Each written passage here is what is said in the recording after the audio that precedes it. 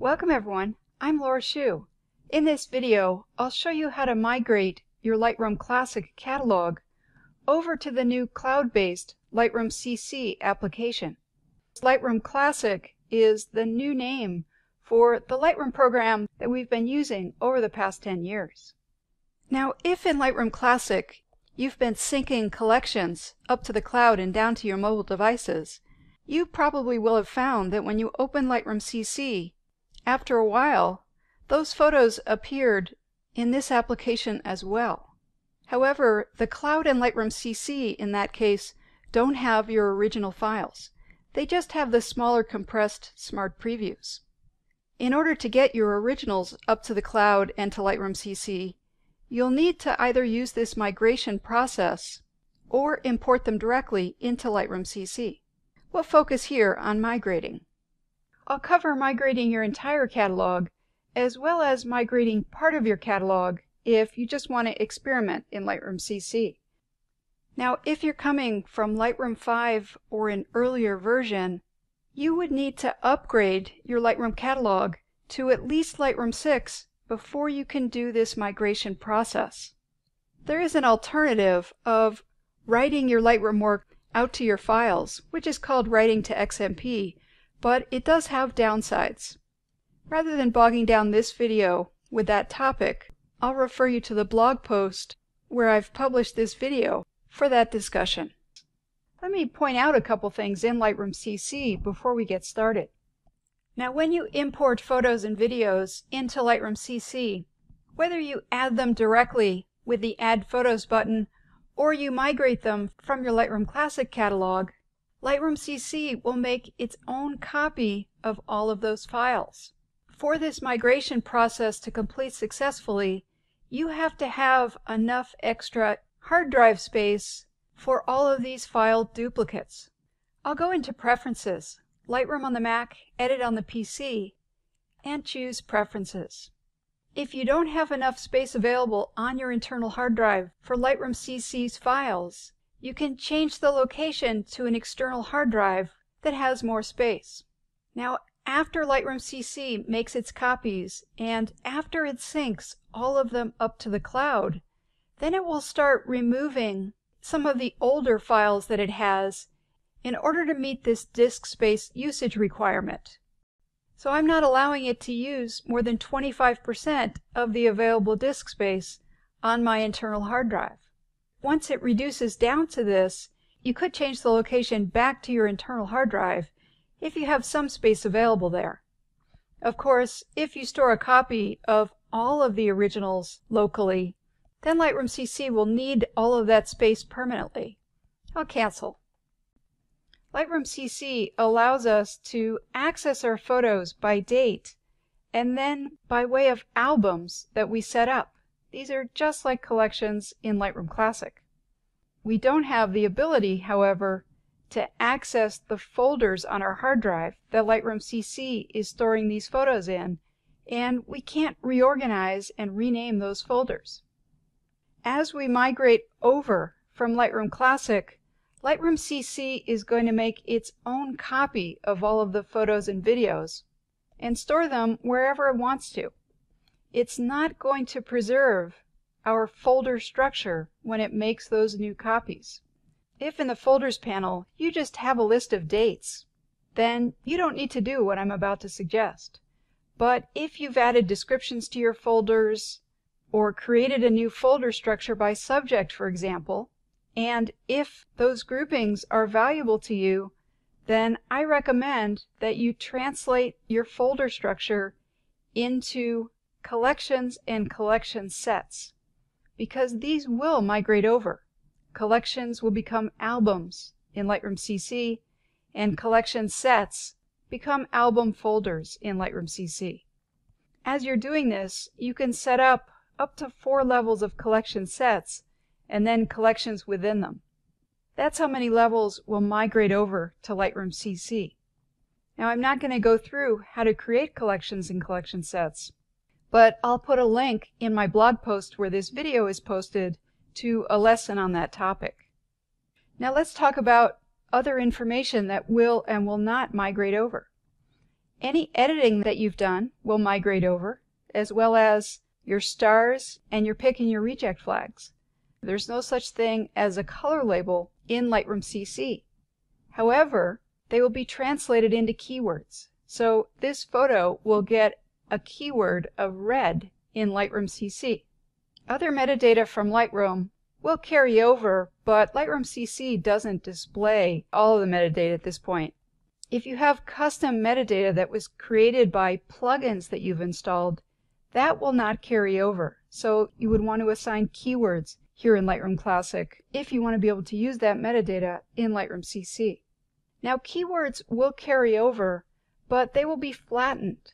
Lightroom CC does not have or respect hierarchical keywords. So my three photos here will get the keywords New York, United States, North America, and location, but they'll be separate keywords. They won't be in one hierarchy.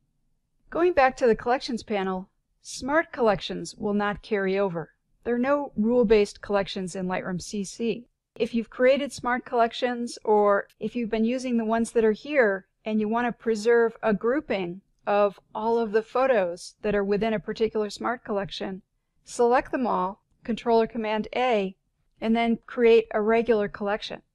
Now that won't be kept up to date as new photos meet the rule, but at least you'll have that initial grouping of photos. Finally, let me go to a photo that I can show this on, and I'll go to the Develop module. Snapshots will not carry over to Lightroom CC. Snapshots are saved points in time in your editing. If you've created any and if you want to be able to preserve that state, then I would select your snapshot and right click and create a virtual copy. Virtual copies will be carried over as new copies in Lightroom CC. The final step here in Lightroom CC would be to resolve any missing files and folders. If Lightroom Classic can't find your files, then they will not migrate to Lightroom CC. If you have folders with question marks, use the Find Missing Folder process to resolve them. I'll link to a video tutorial on that topic in the blog post where this video is posted. If you have any external hard drives that Lightroom is looking at, you'll need to plug those in. Then go up to Library, Find All Missing Photos, and Lightroom will check your entire catalog for missing files. I'll right click on this and choose Go to Folder and Library to see where that file is supposed to be. And I'm going to make a decision in this case just to ignore it. I don't know what it is and I'm fine if it doesn't get to Lightroom CC. Now there's one more thing that you should check that I almost forgot to cover, and that's metadata conflicts, where Lightroom is detecting that you've edited files in either two different Lightroom catalogs or your Lightroom catalog and some other program. To see if you have any issues, go to All Photographs in Grid View, and then in the Library filter bar, click on Metadata, and in the first column, in the drop-down, choose Metadata Status. You're just looking for conflict detected. To set this example up, I went out to my hard drive and opened this file into Photoshop's Camera Raw program and made some adjustments there. I'm not seeing those adjustments in Lightroom, but Lightroom knows that those adjustments are sitting out there with the file. Now, if you have conflicts and you're not seeing this icon, you can go up to View, View Options, and check Unsaved Metadata. If you're not working with two different Lightroom catalogs and you're not working with two programs, then you can click on the exclamation marks and choose Overwrite Settings. Or, frankly, for just the purposes of migration, you can ignore these because the migration process will take the version that Lightroom already, already has here. If the other catalog or the other program has the more up-to-date editing work, click on Import Settings from Disk. Now, again, if you don't go through this process, you'll simply get the editing that you see here in Lightroom when you migrate this catalog, which might be completely fine, but I wanted to mention this. All right. Now, if you want to migrate just a part of your catalog, then you'll need to export that part from your main catalog here. So if I just want these photos to go to Lightroom CC, for example, I would select this folder, select all the files with Command or Control A, and then go to File, Export as Catalog. And I'll put this on my desktop just so that I can find it. It's just a temporary file that I'm going to throw away. And I don't need to include any of these options here. Definitely not the negative files. I'll export the catalog. And I'll get back to that in a minute. If you're going to migrate your entire catalog, make sure you know what the name of it is. Lightroom CC is going to ask you this. It's a good idea also to know where it is. So go up to Lightroom on a Mac or Edit on a PC and then into Catalog Settings. On the General tab, it will show you the name of your catalog file and where it's located on your hard drive. Just make a note of that just in case you need it. Then you can close Preferences. Then you'll quit Lightroom Classic. Here in Lightroom CC, you'll go to File, Migrate Lightroom Catalog, and you'll click on Continue. Now, as it says here, you can only migrate a catalog once. The idea is that you'll get it over into Lightroom CC and you'll use Lightroom CC going forward. This migration process cannot be used to support using both programs and migrating multiple times. If at some point you mess up Lightroom CC so much that you want to delete everything in Lightroom CC and start over and migrate your classic catalog again, you'll go back to your classic catalog and export it as a new catalog and then you'll be able to go through this process again. But that would be an exception. Syncing will be turned off in your catalog if it was turned on after this process. If you want to turn it on again, you'll need to upgrade to Lightroom Classic 7. But that's a free upgrade for Creative Cloud subscribers, so I don't see that as an issue. I'll click on Continue. Here's a list of catalogs that Lightroom CC knows that I have been in recently. This is the one that I exported so I would choose that if I just wanted that one folder of photos to come over. This is my main one, so I'll select this one.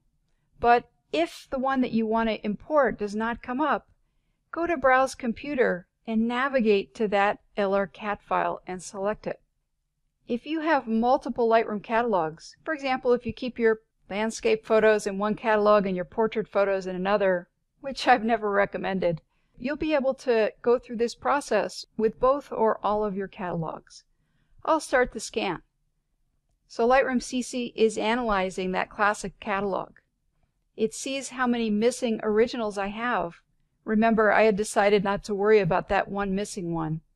This will give you a list of those files and it also gives you more information on what it found. For example, it found 17 virtual copies. I'll start the migration. Now, if you get this message, choose Migrate Later. Then go over to Lightroom Classic and open the catalog that you were trying to migrate. If it's your, your entire main catalog, just open Lightroom. If it's a small catalog that you exported, go find that on your hard drive, double click on the LRCat file, and open that catalog into Lightroom Classic. Then just close Lightroom Classic. For some reason, opening and closing that catalog will resolve most of these issues. Then come back to Lightroom CC and go to File, Migrate Lightroom Catalog again a second time. If you still get this message, click on Learn More. This could take quite a while depending on how large your catalog is. I think mine had about 4,000 photos. I'm going to pause this video and we'll pick up when it finishes. Okay, so I went and ate lunch, and when I got back, it had finished. Now, it takes a long time because Lightroom CC is making a copy of all of your files and, of course, bringing all the editing and other work across as well. The log file will tell you about anything that went wrong. We know that I had one missing file, so of course that wasn't migrated. Let's go down to the album section. You'll have an album folder that has all of the collections that carried over from Lightroom Classic and also has an album that contains all of the photos and videos that it brought over. Now these blue circles mean that this, these albums are syncing. I'll type G to go to the other grid. So all of these files now are being synced up to the cloud. Unlike Lightroom Classic, which only syncs smart previews, small compressed versions of your files, Lightroom CC syncs the full-size files. I'll go to filtering. We'll see under the drop-down for keywords that all of my keywords came across, and as expected, there aren't any hierarchies, but there are the individual keywords that were in the hierarchy. Now, let me go back to Lightroom Classic. As expected, syncing here in Lightroom Classic has been turned off. You can turn it back on if you wish. Keep in mind that syncing now pertains not only syncing to Lightroom Mobile and Web, but syncing to and from the Lightroom CC application. So if I were to turn this on, I would start to see in my collections panel all of the photos that I had imported directly into Lightroom CC and all of the albums that I created over there as well. Now continuing to work in both programs and having sync turned on here can create problems. Rather than get bogged down in this video, on what these issues are, I'll write a separate blog post on this topic. I'm just going to say that your life will be much simpler if you choose to work in one program or the other, or if while you're playing with Lightroom CC, trying to make a decision, keep sync turned off so that you keep a wall between the two programs. All right, this concludes the lesson on migrating your classic catalog to CC. I'm Laura Shoe.